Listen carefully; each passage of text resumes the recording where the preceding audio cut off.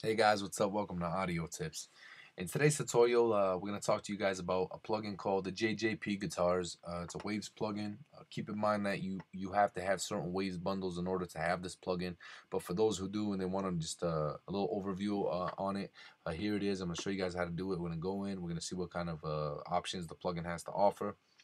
Get you guys a little overview on it. We're going to go to audio effects, down to audio units, to waves. We're going to go up to JJP Whoa.